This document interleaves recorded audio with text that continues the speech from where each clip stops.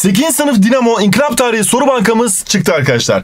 Kitabımızın en önemli özelliği yeni nesil sınav tarzına uygun sorularla ve gerçekten Milli Eğitim Bakanlığı'nın sınavda sorduğu soru tarzı gibi yatay, dikey soruların olduğu sizin sınavda 10'da 10 yapmanızı sağlayacak özel bir kitap hazırladık.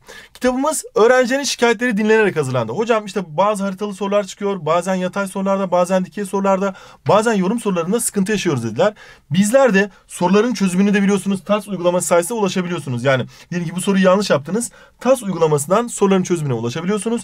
İnkılap tarihini, analitik düşünceyi, yorum sorularını ve aynı zamanda e, Milletin Bakanlığı'nın kazanımlarını süper bir şekilde kavrayabileceğiniz mükemmel bir kitap hazırladık. Bu kitapta zaten hem sınavda hatırlarsanız dikey sorular da vardı, yatay sorular da vardı.